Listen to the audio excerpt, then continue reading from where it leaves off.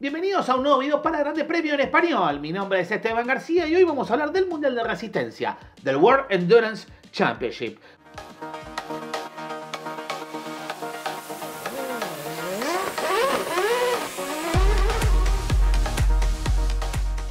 Porque se viene una temporada que promete ser espectacular.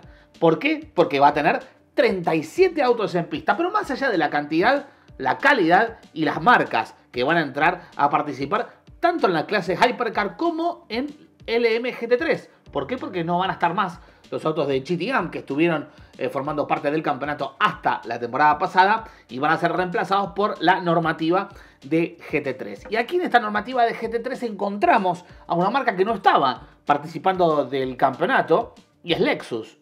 Ustedes dirán, sí, tiene que ver con Toyota. Exactamente, la marca de lujos de Toyota que tiene su RCF GT3, a la espera, por supuesto, de un Toyota GT3 que se está desarrollando, va a tener a José María Pechito López como uno de los pilotos. Atendido va a ser este coche, estos dos coches, mejor dicho, porque van a ser dos autos, dos Lexus, con el equipo Acodis ASP Team. Todavía no tiene compañeros en su tripulación, pero sabemos que el otro coche lo va a encabezar nada menos que el sudafricano Kelvin van der Linde, uno de los mejores pilotos de GT3 del mundo. Así que va, van a encabezar un muy buen equipo, tanto el piloto argentino como el sudafricano, con por supuesto sus compañeros a confirmar. Y ustedes dirán, bueno, no va a haber argentinos en Hypercar, de momento no. Y la gran incógnita es el tema con Nicolás Barrones, ya que tiene un nuevo contrato para ser piloto oficial de Corvette. Ustedes dirán, bueno, la entry list aparece Corvette. En efecto, hay 18 autos en el MGT3 y va a haber dos autos Corvette Z06 GT3R que los va a alistar el equipo TF Sport. Hasta ahora no se han anunciado los compañeros tanto de Charlie Eastwood como de Dani Juncadela, el piloto español, los dos, los dos pilotos va a estar encabezando estas tripulaciones. Veremos si Nico se puede colar eh, como piloto. Recordemos que hace falta un piloto silver y un piloto bronce. Nico venía de ser eh, piloto eh, bronce la temporada pasada y tendrá que ascender de categoría de cara al 2024. Así que parece complicado que haga la temporada de GT3.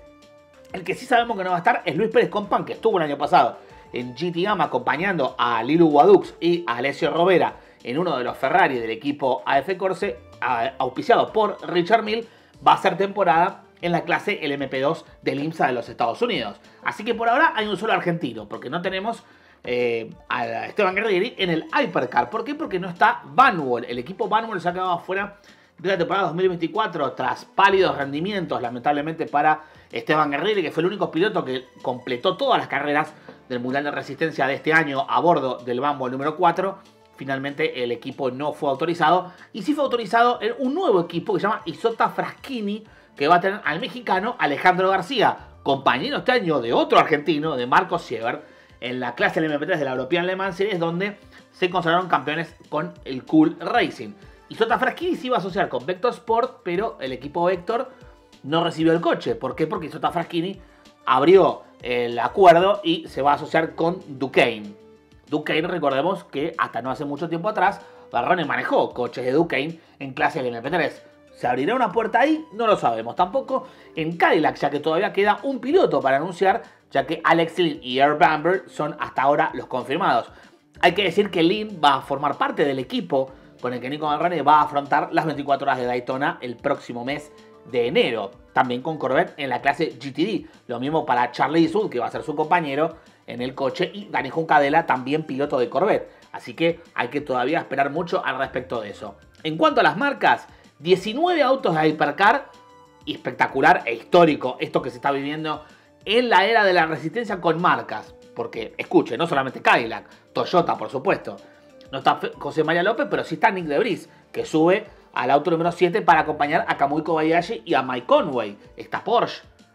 Mary Campbell, que va a estar este año corriendo. Kevin Este en el otro Porsche. También BMW con Sheldon Van el hermano de Kelvin, en uno de los coches. También Porsche va a tener autos cliente, el equipo J y el equipo Proton. Los dos van a listar coches también de la marca de Stuttgart. Tendremos por supuesto un tercer Ferrari del equipo F Corsa, además de los dos que puso este año la casa de Maranello para ganar las 24 horas de Mans. Dos autos de Alpine, Alpine que tiene que confirmar las alineaciones, pero ya tienen a los pilotos confirmados y lo mismo para Lamborghini con un solo vehículo, además de la incorporación, por supuesto, ya mencionada de BMW. Además de estos 19 autos, hay 18 en la clase LMGT3, además del Lexus y Corvette que ya hablamos. También se viene Aston Martin, que va a incorporar al Valkyrie, por lo menos en principio en 2025. Ferrari va a tener sus dos autos de GT3. McLaren con el equipo United Autosport. Lamborghini que va a tener el, programa de Iron Links y el programa de las Iron Dames, que ya tiene confirmada a Michelle Gattin. Y también van a estar el Lexus que lo dijimos, Ford Mustang, ¿sí? con autos del Proton Competition. Va a estar Porsche con dos autos del Mansey. Y también el equipo D-Station atenderá el otro Aston Martin, que estará uno, el D-Station, el equipo japonés, y el otro, el Heart of Racing. No están Audi y Mercedes, las dos grandes ausencias del entry del 2024 del Mundial de Resistencia.